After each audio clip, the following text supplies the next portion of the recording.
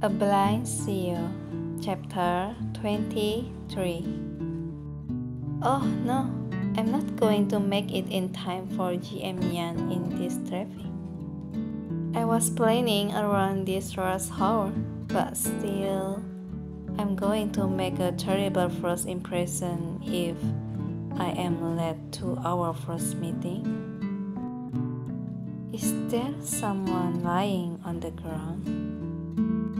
Something isn't right with that old man. Hi everyone, if you like my video, don't forget to like, comment, and subscribe. Thank you. He is having a heart attack. He is not going to make it yet unless someone does something. It's definitely too late for hospital now. Patients with heart disease usually carry their medication on them. Zero helped the old man. It's refreshing to see such kindness in someone. GM Yan, we are running late. Would you like to call ahead? And he said, Let's call. It's better to be upfront and honest. GM Yan, no one answered. Never mind, I will tell her when I see her. There go. Thank you, young girl. You saved my life. Come on, let me take you out to dinner. That's very kind of you, sir, but it was not trouble. You really seldom have. I need to go now. I have another engagement. Can you give me your phone number or address? I did like to properly thank you. Alright, here is my phone number. An hour later. Damn it, he must be calling to ask me where I was. GM is calling. I can't believe I am five minutes late. Hopefully, I can make it up by wolfing GM Yan with my work. Madam, this way, please. There, have a dinner. My apologies, GM Yan. I'm late. I was caught up by something on my way over here. It's you. What a coincidence. Do you know me? I just saw you.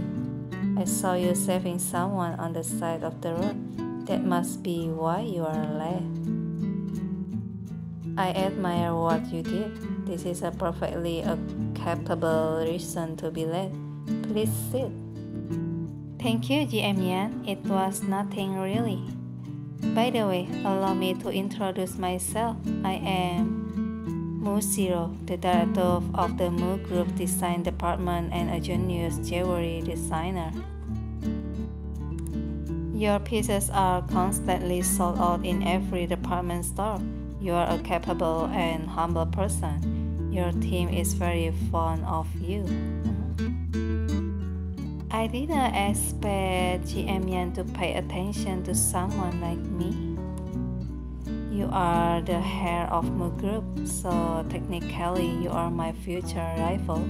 Of course, I did pay attention. I heard rumors that GM Yan is a straight shooter. It looks like the rumors are true.